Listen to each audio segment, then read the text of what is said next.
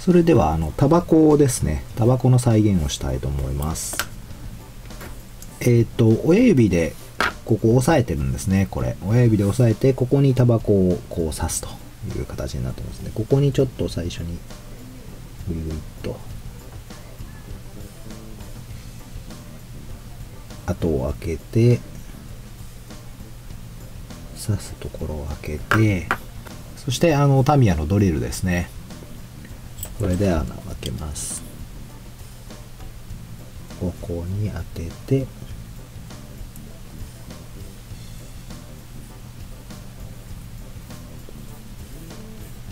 穴を開ける、えー、0.3の穴を開けたところに0.3の真鍮線ですので若干きついんですけどあのまああのプラスチックなんでこうやれば入ってくれます。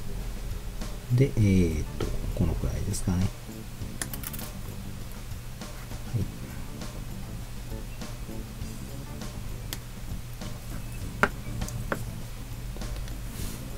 これでタバコ OK です。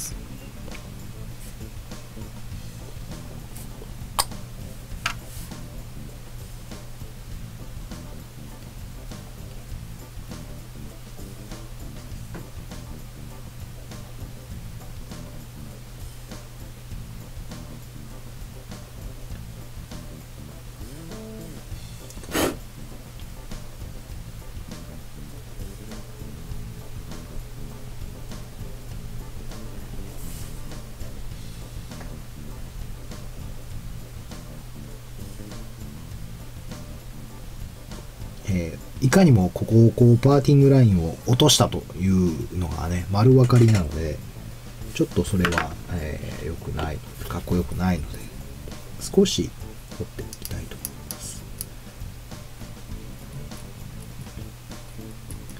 ここにこう前はシワがありますね。これをちょっとこうちょっとだけここの面に持ってくるというかですね。だから掘るというより少し削るという程度で柔らかく。このシワがこうね三角形になってなだらかにここにこちらに向かって消えていくんですね。こうこういうふうにね。少しだけここここの部分をへこましてあげる程度の話ですね。それではえっ、ー、とある程度彫り込みもできましたしあのー、この角度ですね。この角度をどこにするのかというのを決めてしまいたいと思います。腕との関係性があるので、あの、包刀に乗せてやってみたいと思います。えー、貼って剥がせる、えー、接着剤ですね。これをちょっと塗って仮止めします。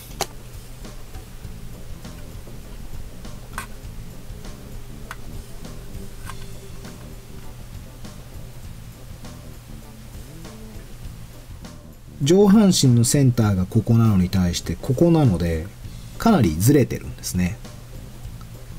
かなりあの横へぐるっと体をひねってると。